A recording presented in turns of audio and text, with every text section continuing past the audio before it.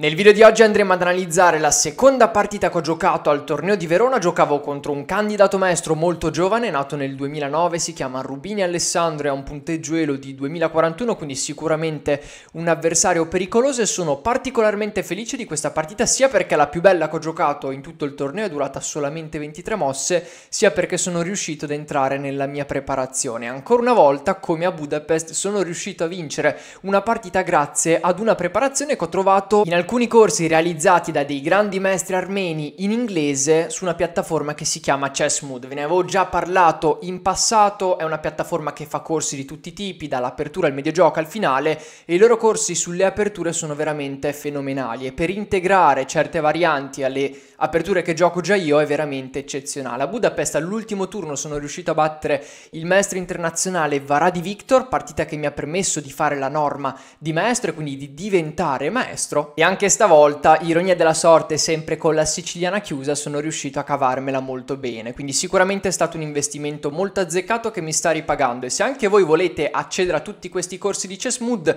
loro propongono degli abbonamenti mensili oppure annuali che vi permettono di sbloccare tutti e quanti i corsi, che sono più di 500 ore di lezioni con dei grandi maestri. Se la cosa vi interessa, qui sotto in descrizione vi lascio il link con lo sconto del 20% su tutti questi abbonamenti e devo dire che merita veramente tanto, cioè a me sta aiutando parecchio e quindi anche per i giocatori avanzati, prime nazionali, candidati maestri, seconde nazionali è veramente la svolta, perché è stata la svolta per me che sono adesso maestro e anzi mi ha aiutato a diventare proprio maestro, quindi figuriamoci per i giocatori con un elo un pochino più basso. Poi ci sono corsi di di tutti i livelli, quindi anche i giocatori alle prime armi possono trovare un sacco di spunti. L'importante è conoscere l'inglese perché sono comunque dei corsi in inglese. Detto ciò iniziamo subito con l'analisi della partita. A Budapest Varadi Victor mi giocò pedone di 6, stavolta invece mi hanno giocato cavallo C6, un'altra delle mosse più giocate, quindi vediamo come si può evolvere la situazione. Quelli di Chessmood qua propongono alfiere B5 e dopo cavallo D4 il bianco sembrerebbe insomma dover perdere un altro tempo per salvare l'alfiere in B5, quindi la coppia degli alfieri. Nulla di tutto ciò però, noi continuiamo con cavallo F3, quindi diamo più importanza allo sviluppo dei pezzi, dopo cavallo per B5 e cavallo per B5 abbiamo due cavalli fuori mentre il nostro avversario no. È vero che questo cavallo può essere attaccato con pedone a 6 come è successo tra poco in partita e quindi vediamo effettivamente cosa può succedere. Il nero gioca pedone di 6, mossa normale, il bianco gioca con d4 e dopo c per d4 l'idea è catturare con la regina. Ora che il cavallo in b8 non è più presente, il nero non potrà andare ad attaccarci questa regina facilmente. Quindi è vero abbiamo tirato fuori la regina molto presto in apertura, però il nostro avversario non può attaccarcela sviluppando i propri pezzi e di conseguenza non è un grosso problema. Pedone a 6, cavallo c3, abbiamo perso un tempo con il nostro cavallo, ma se guardate bene sulla scacchiera noi abbiamo sviluppato ben tre pezzi, mentre il nostro avversario 0, quindi il bianco è in vantaggio di sviluppo in cambio di questa coppia degli alfieri. La partita prosegue con cavallo F6, alfiere G5, quindi sviluppiamo tutti i nostri pezzi molto velocemente, pedone 6, arrocco lungo. Notate come il nero ha tirato fuori solo il suo cavallo e io ho già tirato fuori tutti i miei pezzi tranne la torre in H1 che nel giro di una mossa può raggiungere il centro della scacchiera. Fino ad ora sono ancora in preparazione, il mio avversario gioca alfiere 7, mossa normalissima e qua arriva pedone 5, devastante, di per 5 donna per 5 5 la torre attacca la regina. Piccola parentesi, una variante molto simile può nascere da cavallo F3. Io tra l'altro gioco molto spesso questa linea dove il bianco cattura subito in D4 e su cavallo C6 va ad inchiodare il cavallo attaccante. Abbiamo alfiere D7, eliminiamo il cavallo attaccante, cavallo C3 e come prima sviluppiamo i nostri pezzi molto velocemente. E la posizione è molto simile a quella che è capitata in partita, con l'unica differenza che qua dopo alfiere 7 abbiamo un pedone in A6 e l'alfiere ancora in C8, quindi abbiamo migliorato ulteriormente la situazione, anche perché qua dopo pedone E5, D per E5, donna per E5, se l'alfiere del nero fosse stato in C6, il nero avrebbe potuto giocare con donna B8, cercando il cambio delle regine, il nero non avrebbe avuto nessun tipo di problema. Con la presenza però dell'alfiere in C8 e del pedone in A6, quindi al posto di pedone A7 e alfiere C6, questa mossa non è presente, quindi adesso il nero si trova già più in difficoltà, la donna è sotto attacco e ad esempio donna b6 che potrebbe sembrare una mossa naturale già perde. Il bianco bianco gioca con cavallo e 4. Tutto questo è proposto nel loro corso. La questione è che adesso la pressione su F6 è tantissima, ben tre pezzi attaccano il cavallo e su cavallo per E4 andiamo prima a catturare l'alfiere in E7. A volte minacciamo torre di 8, il cavallo è in presa, su re per E7 catturiamo il cavallo e ora il computer dà già un vantaggio schiacciante al bianco, parliamo di più 3. Per quale motivo? Perché il re in E7 è troppo esposto e anche questo alfiere ci mette un po' a svilupparsi magari in C6, mentre il bianco ha già i pezzi pronti per attaccare, ad esempio su donna per F2 seguirebbe donna B4 scacco, la donna 3 in D6,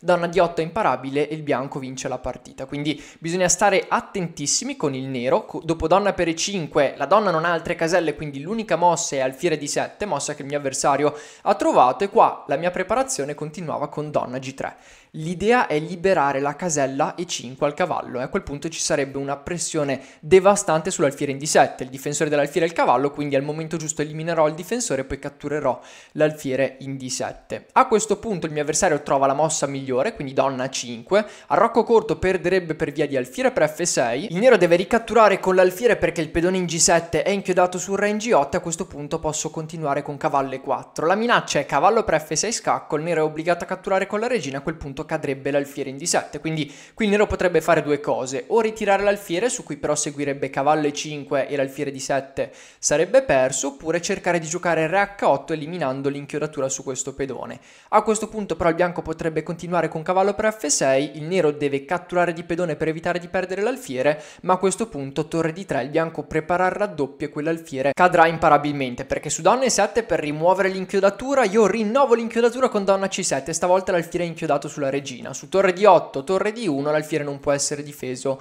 ulteriormente, mentre su torre G8 per attaccare la regina vado in F4, torre C8 per portare la torre a difesa dell'alfiere, ma adesso la regina che è andata in F4 può triplicare sulla colonna D con donna di 2. Quindi questa era tutta la mia preparazione, però come vi dicevo prima il mio avversario è stato bravo, dopo donna G3 non ha giocato a Rocco che è perdente, ma ha giocato donna 5 e qui io proseguo con cavallo E5. A questo punto la mia preparazione diceva alfiere C6, avevo visto questa linea qua che però non è molto facile da giocare con il nero perché comunque si espone al cambio del cavallo sull'alfiere quindi perderebbe il vantaggio della coppia degli alfieri, la sua struttura pedonale si andrebbe a distruggere, il bianco sarebbe già pronto con i suoi pezzi per attaccare insomma la posizione del nero, quindi ci sarebbe un'ottima centralizzazione. Qua il mio avversario gioca alfiere B5, tenete conto che avendo tutte queste mosse in preparazione io ho mosso grosso lampo fino ad adesso, avevo un'ora e 35 sull'orologio, mentre il mio avversario, se ricordo bene, aveva circa 50 minuti, un'ora, quindi ci aveva già pensato mezz'ora o 40 minuti per trovare tutte queste mosse che erano corrette e alla fine è arrivato al Fiere B5 che è un errore. Io sapevo che era un errore perché il computer non me la proponeva durante la preparazione, quindi qua ci penso e poi gioco con alfiere D2 con la doppia minaccia di catturare in G7, dopo attacco alla torre e il pedone in F7, ma anche di andare a muovere il cavallo magari in D5 per attaccare la regina in A5, poi cercare dei doppi in C7, insomma ci possono essere molti tatticismi nell'aria. A questo punto ad esempio a Rocco Corto perderebbe proprio per via di cavallo D5, attacco la regina, attacco l'alfiere e su qualcosa come donna D8 posso giocare cavallo per F6 scacco, alfiere per F6 e poi proseguire con alfiere B4, attacco la regina regina e la torre, quindi quantomeno guadagnerei la qualità. A rocco corto non è possibile, il mio avversario gioca pedone G6 per difendere il pedone in G7 e sfrutta il fatto che cavallo D5 è interessante ma non riesce a funzionare. Qua ci ho pensato molto perché effettivamente cavallo D5 attira molto. L'unico problema qui è che dopo donna per A2 il nero sta minacciando matto in A1, quindi devo essere molto rapido e quello che ho calcolato è stato cavallo C7 scacco, che è un doppio tra re e torre. Ovviamente la torre non la potrò catturare perché prenderei matto, però in sostanza il re del nero può andare in D8 oppure può andare in F8. Su re D8 quello che avevo calcolato io è cavallo per F7 scacco, che però si rivela perdente, infatti poi non ho giocato questa variante. Tra l'altro molto carina perché fa un altro attacco doppio e la regina di scoperta difende il cavallo. A questo punto il re del nero è costretto ad andare in C8 ed è molto buffo perché potrei catturare entrambe le torri ma non posso mai perché seguirebbe donna 1 scacco matto e qui l'unico modo per evitare il matto è cercare una via di fuga per il re, quindi Nel calcolo ho pensato all'alfiere G5 oppure alfiere F4, insomma una mossa che liberasse questa casella. L'unico problema è che il nero può giocare con cavallo E4, mi attacca la regina, mi toglie la casella di fuga in D2 e la minaccia di matto è rinnovata, quindi questa linea non funziona. Non mi sono però fermato qui con il calcolo, oltre a cavallo per F7 scacco ho pensato a cavallo per E6 che purtroppo ancora una volta non funziona, perché su F per E6 l'idea era quella di fare uno scacco doppio con l'alfiere e con la torre, Re C8 per sarebbe per donna C3 scacco, re B8 scacco, alfiere B6 scacco matto. Quindi avevo fiducia nella variante. L'unico problema qua è che dopo alfiere A5 scacco, re scappi in 8 e non ho nessun modo forzante di proseguire la variante. Di conseguenza ho dovuto rifiutare anche quest'idea. A quanto pare alfiere G5 scacco portava in vantaggio il bianco. Su re per C7 seguirebbe cavallo per G6, scacco di scoperta con la regina e quando il re va in C8, cavallo per E7 è scacco matto. Il nero quindi non può catturare in C7, deve andare in C8 e qua c'è una variante completamente folle. Io non ho visto alfiere G5, però ve la mostro perché è molto carina. Abbiamo alfiere per F6, la donna entra con scacco, ma re scappa in D2, torre di 8 scacco, il cavallo para e ora il bianco sta meglio perché ci sono tutti e quanti i pezzi in presa. Era molto difficile da vedere, non ho visto nulla di tutto ciò. Bisognava calcolare tra l'altro anche re F8 dopo cavallo C7 scacco e qua io avevo previsto alfiere H6 scacco. Anche qua era un casino allucinante perché il re deve scappare in G8, adesso è vero ho creato questa via di fuga in D2 quindi posso catturare la torre,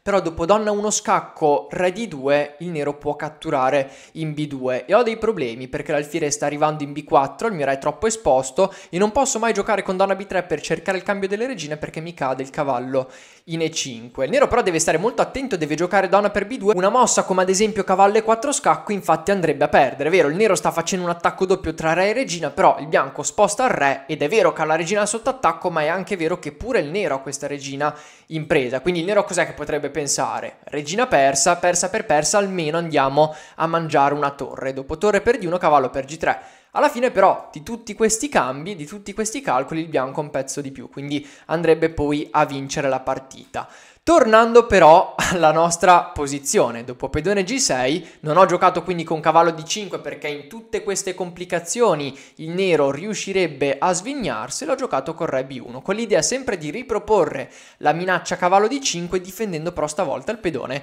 in A2. Quindi vedete in una partita di scacchi quanta complessità c'è dietro magari una mossa che sembra banalissima e insignificante come ad esempio re B1, cioè c'è veramente un mondo completamente a sé, pieno di varianti super complesse con tutti i pezzi in presa, quindi per capire veramente le partite bisogna sempre che ci sia qualcuno che vi spieghi un po' tutti i ragionamenti che ci stanno dietro. Quindi questa è l'idea di Re B1. Alla fine il nero gioca con donna B6, quindi si toglie da questa diagonale pericolosissima e ora sfrutto il fatto che la regina è in B6 per attivare il mio alfiere attaccando la regina che in questo momento torna in A5, quindi così facendo ho guadagnato in maniera totalmente gratuita due mosse, perché dopo pedone G6 la posizione era questa, ma dopo re B1, donna B6, alfiere 3, donna 5 otteniamo la stessa identica posizione dove io ho giocato queste due mosse e tocca di nuovo a me. Era possibile giocare anche alfiere C5, qua in partita io avevo previsto alfiere per C5, donna per C5, donna F4, attaccando il cavallo che non può muoversi perché seguirebbe donna per F7, scacco matto, comunque il re del nero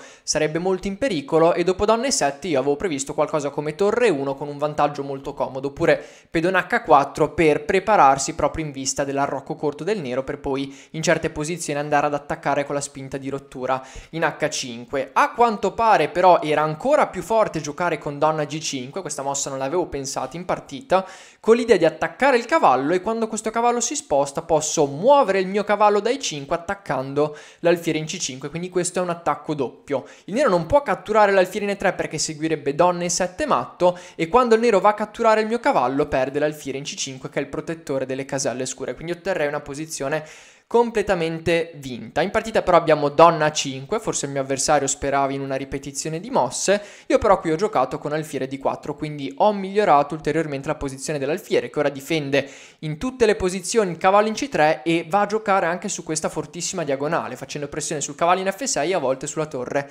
in H8. Abbiamo arrocco corto e adesso iniziamo con l'attacco. Pedone H4, sta arrivando pedone H5, il pedone G6 è inchiodato quindi non potrà catturare, su cavallo per H5 avrò torre per H5 sfruttando ancora una volta il pedone inchiodato che non potrà ricatturare. Alfiere C6, questo alfiere l'ho ignorato totalmente e io ho continuato per la mia strada. Pedone H5, quindi se la colonna H si apre sono veramente guai perché dopo posso dare matto molto facilmente al re del nero. Qui il mio avversario gioca con re G7, potevo catturare in G6 per aprire la colonna H, però preferisco giocare con donne 3. E questa mossa secondo me è il colpo del KO perché oltre a minacciare un'eventuale entrata in H6 con la regina, difesa dalla torre una volta che vado a catturare in G6, sto anche minacciando di intrappolare la donna in A5 con alfiere B6. La partita è proseguita con torre C8 e qua proprio arriva alfiere B6 e la donna nera ha praticamente finito le caselle. L'unica mossa possibile è donna B4 ma dopo pedone A3 il mio avversario abbandona perché tutte queste caselle paradossalmente sono controllate dai pezzi del bianco quindi questa regina è in trappola. Riassumendo velocemente la partita all'inizio ho dato la coppia degli alfieri in cambio di un forte sviluppo e poi grazie alla preparazione che arrivava fino a cavallo E5 sono riuscito ad ottenere un ottimo vantaggio. Qua il mio avversario ha sbagliato, arriva alfiere D2 e poi dopo re B1 vado a difendere il pedone A, vado a migliorare l'alfiere in D4 e poi con H4 H5 do il via all'attacco finale che termina con l'intrappolamento della regina in B4. Noi ci vediamo al video di domani dove andremo ad analizzare la partita del terzo turno e nel caso vi foste persi le analisi dei turni precedenti sul mio canale è presente una playlist contenente tutte le partite che ho giocato in questo torneo di Verona. Vi ricordo di lasciare un like per supportare questo mio lavoro e noi ci vediamo domani.